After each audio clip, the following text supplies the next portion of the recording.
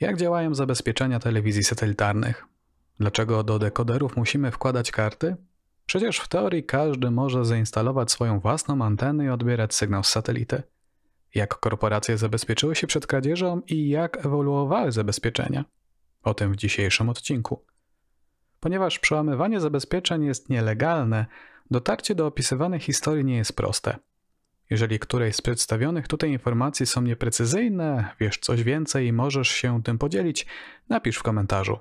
Z góry dziękuję. Telewizja kablowa była bardzo popularna w Stanach Zjednoczonych, ale skąd firmy brały sygnał, który następnie dystrybuowały do domów?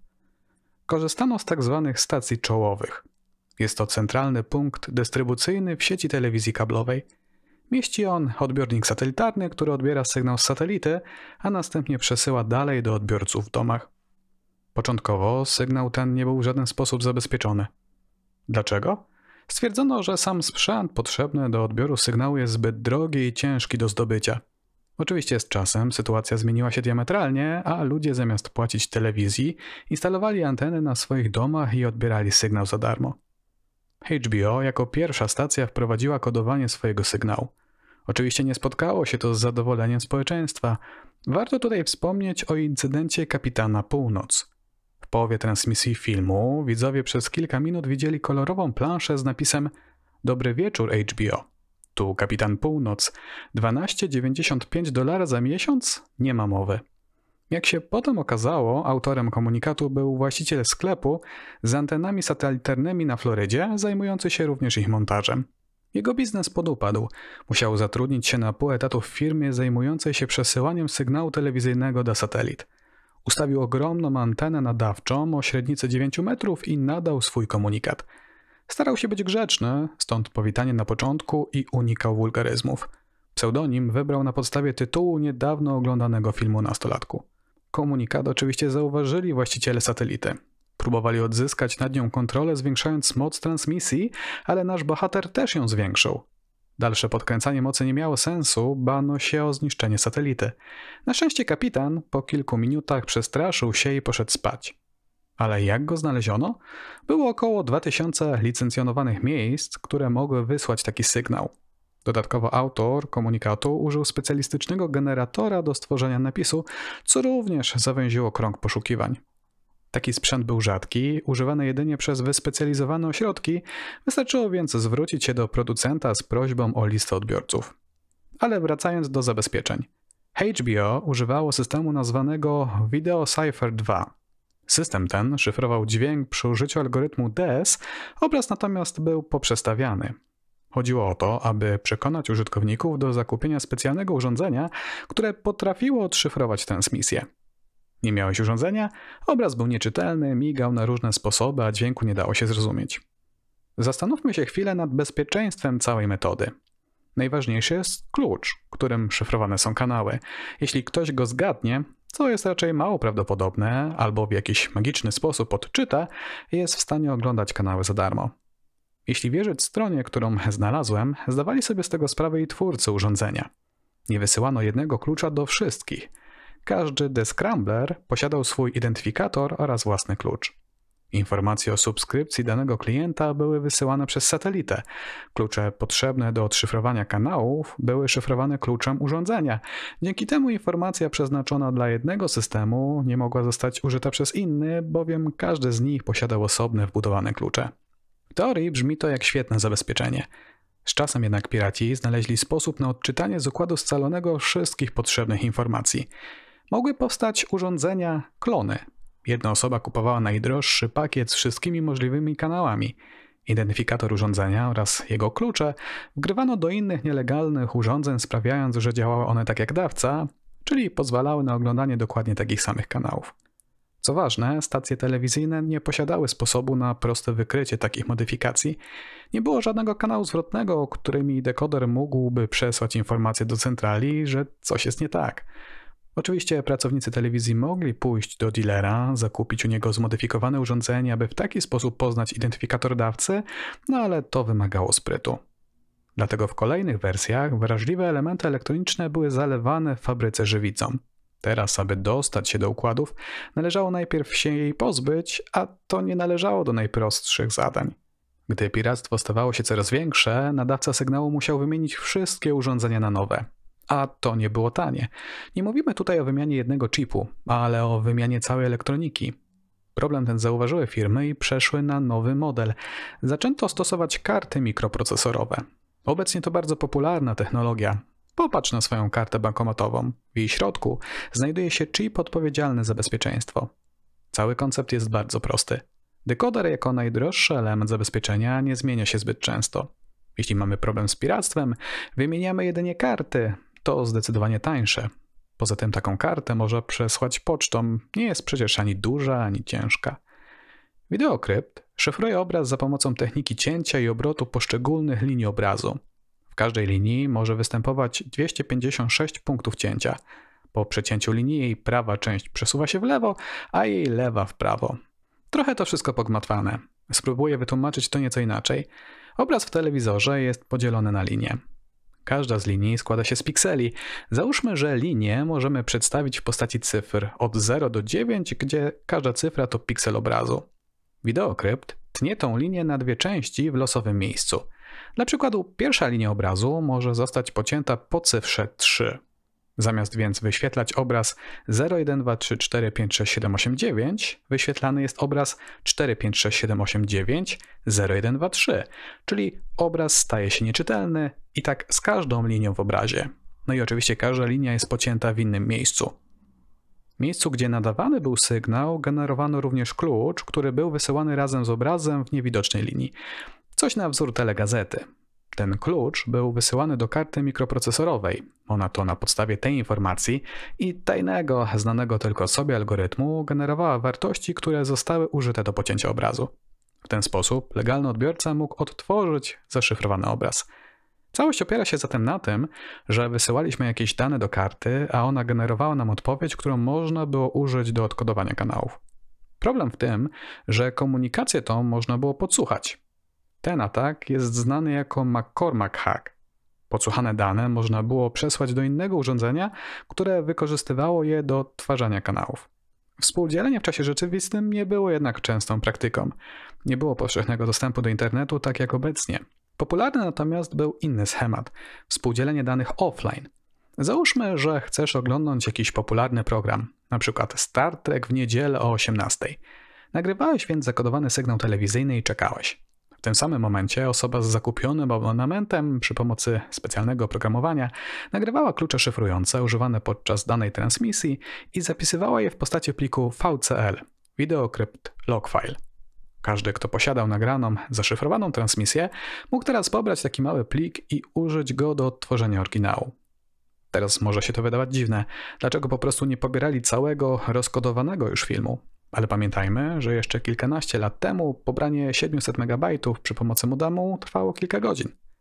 Co ciekawe, twórcy systemu przewidzieli, że takie ataki mogą mieć miejsce. Oryginalny plan zakładał, że każdy dekoder będzie połączony z kartą w procesie nazwanym personalizacją. Proces zakładał, że karta będzie zawierała identyfikator dekodera i będzie działała tylko z jednym konkretnym modelem. Co więcej, karta mogła być sprawdzona przez dekoder przy użyciu algorytmu Fiat-Shamir Zero Knowledge. W teorii miało to działać tak, że dekoder wysyłał do karty zapytanie, a ta musiała na nie odpowiedzieć w prawidłowy sposób. Tak oto dekoder miał wiedzę, czy ma do czynienia z oryginalną kartą, a nie jakąś podróbką. Niestety, dla systemu obie z tych funkcji nie działały prawidłowo. Ale to nie tak, że telewizja nie mogła się bronić. Do kart zdalnie mogły być przesyłane komendy. Dzięki temu można było zadzwonić do centrali i dokupić dodatkowy pakiet sportowy. Wtedy centrala wysyłała informacje o aktywacji konkretnego pakietu dla konkretnej karty. Dekoder odczytywał ten pakiet i przesyłał do karty, która od tego momentu dekodowała dodatkowe kanały. Ale system ten można też było używać do deaktywacji kart. Niedziałające karty to problem dla piratów. Co można z tym zrobić? Powitajcie Infinite Lives Hack. Stare karty bazowały na mikrokontrolerze ST1834. Żeby je przeprogramować, wymagane było napięcie plus minus 21 V. Ograniczając napięcie do 12 V, zablokowanie karty było niemożliwe, pomimo tego, że otrzymywała ona komendę do aktywacji. Implementacja tej sztuczki wymagała drobnych elektronicznych umiejętności. Piraci instalowali diodę Zenera oraz rezystor i już. Modyfikacją tego sposobu był Kentucky Fried Chip Hack, który swoją nazwę zawdzięcza szefowi bezpieczeństwa departamentu firmy Sky. W skrócie, pobrano program z chipu, a następnie zmodyfikowano go tak, że jeśli wykrył pakiet mający deaktywować kartę, po prostu go ignorował. No ale co jeśli karta została już zablokowana? Tu do gry wkracza Phoenix. Karty, które trafiały do nowych właścicieli, musiały być najpierw aktywowane. Nie do końca wiadomo jak, ale po jakimś czasie piraci zrozumieli, jak działa ten mechanizm. Teraz mogli ponownie aktywować karty, które już zostały wyłączone. Wystarczyło wysłać odpowiedni pakiet z prawidłową sumą kontrolną i już. Co ciekawe, w 1993 roku komuś udało się wykraść sekretną funkcję, która była wykorzystywana w algorytmie. Większość stacji korzystała z tego samego kodu, który różnił się tylko 32-bajtowym sekretem. Nie wiadomo jak doszło do wycieku, ale jest wysoce prawdopodobne, że źródłem był jakiś pracownik firmy, która wytwarzała karty. Dzięki temu wyciekowi możliwe było stworzenie nielegalnych, sklonowanych kart. Były to proste płytki PCB z tanim mikrokontrolerem z zaimplementowaną sekretną funkcją. Pamiętasz jeszcze algorytm cięcia obrazu po linie? Z czasem moc obliczeniowa komputerów stała się na tyle duża, że powstały programy, które były w stanie odtworzyć prawidłowy obraz w czasie rzeczywistym, bazując na pewnych artefaktach. Zakładając, że przecież wyświetlany obraz nie jest losowy, ale przedstawia jakiś krajobraz, scenę twarz. Więc piksele, będące obok siebie, powinny do siebie pasować, na przykład kolorystycznie. Oczywiście metoda ta nie była w 100% skuteczna, ale pokazuje tylko, że obfuskacja to nie szyfrowanie i te dwie metody nie powinny być używane zamiennie. Ale to nie koniec naszej opowieści. Na Twitterze Chrisa Gerlińskiego opisuje on historię łamania zabezpieczeń amerykańskiej firmy DirecTV. Zaraz zobaczysz, że była to istna zabawa w kotka i myszkę. Na początku były karty zwane kartami F. We wnętrzu znajdował się mikrokontroler z procesorem 6805. Podczas analizy oprogramowania znaleziono błędy, które pozwalały na zapis i odczyt pamięci EPROM po podłączeniu karty do portu szeregowego w komputerze. Wszystkie informacje o subskrypcji oraz klucze szyfrujące znajdowały się bezpośrednio w EPROMie. Dzięki temu możliwe było stworzenie klonu karty, która działała tak samo jak oryginał. Inną techniką było zmodyfikowanie oprogramowania w taki sposób, aby karta ignorowała listę autoryzowanych kanałów, pozwalając tym samym na oglądanie ich wszystkich. Tą technikę nazwano 3M od trzech muszkieterów, jeden za wszystkich, wszyscy za jednego. Tutaj mówimy jednak cały czas o modyfikacji oryginalnych kart. Ale skąd je brać? Problem ten rozwiązano przy pomocy tzw. Tak battery card, czyli zamienników oryginalnych plastikowych kart. Były to nieco przedłużone płytki PCB, które wkładano do dekodera tak samo jak oryginalną kartę. Na płytce znajdował się mikroprocesor, bateria oraz pamięć. Całość posiadała również port umożliwiający połączenie z komputerem. Z punktu widzenia dekodera była to zwykła karta, która działała w identyczny sposób jak oryginał. Odbiornik nie potrafił rozróżnić tej karty od oryginału. Dla przestępców jednak było to dużo wygodniejsze rozwiązanie. Nie musieli pozyskiwać oryginalnych kart, które można by było zmodyfikować, tworzyli po prostu własne. Gdy telewizja zmieniała coś w swoim systemie zabezpieczeń, piraci rozpracowywali zmiany i przygotowywali aktualizację swoich produktów. Ściągało się wtedy taką aktualizację i wysyłało do karty. Co ciekawe, aktualizacje te były zaszyfrowane i zabezpieczone. Po co piraci tak bardzo chronili swoją własność intelektualną? Powody były dwa. Po pierwsze, chronili się przed konkurencją, która mogłaby chcieć skopiować ich produkt i sprzedawać bez odpowiedniej prowizji. Po drugie, zaszyfrowanie aktualizacji sprawiało, że firma telewizyjna, przynajmniej w teorii, miała utrudnioną analizę takiego pliku, więc nie była w stanie na pierwszy rzut oka stwierdzić, jakiej podatności tym razem doszukali się przestępcy.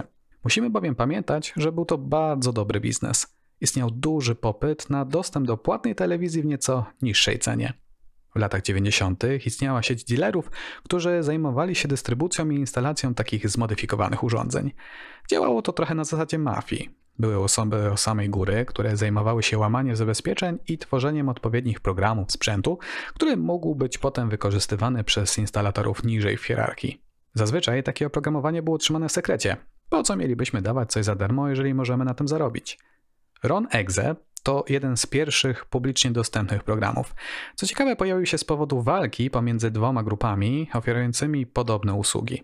Warto zwrócić uwagę, jak prosta była cała ta procedura.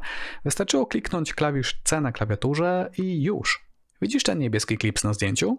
Karta była łączona z odbiornikiem. Odbiornik zapisywał numer seryjny karty i nie pozwalał na korzystanie z innej. W battery card była kopia jakiejś karty. W odbiorniku więc musiał pasować jej numer seryjny. Przeprogramowało się pamięć EPROM chipu wykorzystując właśnie ten klips. Współzawodniczące ze sobą grupy dealerów podkradały swoje oprogramowanie, ale nie zawsze wszystko działało tak jak należy. Czasami karty przestawiały odpowiadać na programator oraz odbiornik. Stawały się zepsute lub jak to nazywano w nomenklaturze ówczesnych hakerów, były w stanie pętli. Z czego to wynikało? Oprogramowanie klonujące kart działało sekwencyjnie, kopiując dane od początku do końca. Gdy tylko zmienił się początek programu na karcie, zaczynał się wykonywać, tylko że potrzebował danych z końca karty, które nie zostały jeszcze zmienione. A ponieważ kod zaczął się już wykonywać, programator nie mógł zapisać danych na końcu karty i to sprawiało, że karta działała w pętli, próbując wykonać program, który nie był prawidłowy. To nie jest tak, że stacje nie wiedziały o piractwie. Czasami próbowały działać w nietypowy sposób. Przykładem jest specjalny kanał dostępny jedynie dla osób korzystających z nielegalnych kart. Ich karty odkodowywały wszystkie kanały. Ten kanał był niedostępny dla legalnych klientów, bo ich karta nie pozwalała na jego odkodowanie. W kółko wyświetlany był tam spot zachęcający do kupna legalnej telewizji w promocji. Czy taki zabieg marketingowy działał? Trudno powiedzieć. Trzeba jednak przyznać, że był to ciekawy pomysł. Z czasem zmieniono jednak system zabezpieczeń. Tym razem zaczęto używać tzw. Tak kart H. Oczywiście wiązało się to z fizyczną zmianą kart u wszystkich legalnych subskrybentów telewizji. Tutaj ponownie udało się pobrać kod z pamięci ROM i EPROM karty. Następnie znaleziono błędy w tym oprogramowaniu i na ich podstawie stworzono programator kart. Piraci posiadali dostęp do wewnętrznej pamięci karty, mogli modyfikować oprogramowanie, które się tam znajdowało w taki sposób, aby karta pozwalała na odkodowywanie wszystkich kanałów. Dalej jednak pozostawał jeden problem. Piraci musieli mieć dostęp do oryginalnej karty, którą mogliby zmodyfikować. Ale dlaczego? Przecież poprzednim razem byli w stanie stworzyć emulator karty. Czemu nie było to możliwe tym razem? Ta karta posiadała nie tylko mikrokontroler, ale także specjalny chip ASIC stworzony tylko i wyłącznie na potrzeby DirecTV. Analiza wsteczna chipu ASIC i poznanie jak on działa oraz jakie klucze szyfrujące się w nim znajdują to zupełnie inny i o wiele trudniejszy proces niż analiza oprogramowania mikrokontrolera. Wybrano zatem najprostsze rozwiązanie, wykorzystano gotową kartę. Dopóki piraci mogli modyfikować oprogramowanie mikrokontrolera, który komunikował się z chipem ASIC, wszystko było ok. Po prostu zmodyfikowane oprogramowanie wysyłało do chipu komendy o deszyfrowanie wszystkich kanałów. Nie trzeba było więc analizować jak działa chip. Tylko, że takie podejście na dłuższą metę było problematyczne. Dostęp do mikrokontrolera był utrudniony i mógł się odbywać jedynie przy pomocy interfejsu ISO 7816. Z czasem firma była w stanie zdalnie załatać wszystkie karty przy pomocy aktualizacji przez satelitę. Wtedy taka karta była bezużyteczna, bo nie można było już w niej zmienić oprogramowania. Trzeba tu bowiem wspomnieć, że te karty mogły być aktualizowane zdalnie. Razem z sygnałem telewizyjnym można było przesłać aktualizację do kart. Dekodery były zaprojektowane w taki sposób, aby takie paczki od razu przesyłać do karty i aktualizować jej oprogramowanie. Równocześnie te zmiany w oprogramowaniu musiały być wprowadzone przez piratów, bo lekko modyfikowały one schemat szyfrowania. Przez dłuższy czas wyglądało to więc jak zabawa w kotka i myszkę. DirecTV aktualizowało swoje karty, a piraci już po paru chwilach mieli przygotowaną nową, poprawioną wersję swojego urządzenia. Innym sposobem obrony było lupowanie kart. Aktualizacja posiadała specjalny kod, którego celem było zidentyfikowanie zmodyfikowanych kart. Jeżeli karta wykryła taką modyfikację, ustawiała specjalną flagę w pamięci EPROM. Podczas startu karty weryfikowała tą flagę i jeżeli wartość była ustawiona, karta po prostu nie działała. Uruchamiała się w kółko w pętli, wysyłając wartość 99 na porcie szeregowym. Czyli program na karcie się wykonywał, ale nie przesyłał komend do chipu ASIC. Taka karta również stawała się bezużyteczna. Po jakimś czasie pojawił się problem. Piraci powoli tracili dostęp do działających kart. Ich ilość była bowiem ograniczona. Nie można było tak o zamówić sobie takiej karty, wykorzystywanej tylko i wyłącznie przez jedną firmę. Korzystano więc z oryginalnych kart konsumentów, którzy płacili za usługi telewizji, ale ilość takich osób była ograniczona. No bo ile razy można wmawiać firmie, że zgubiło się kartę lub przestała ona działać, jeżeli w normalnej sytuacji była ona włożona do slotu w dekoderze i w ogóle nie powinna być wyjmowana?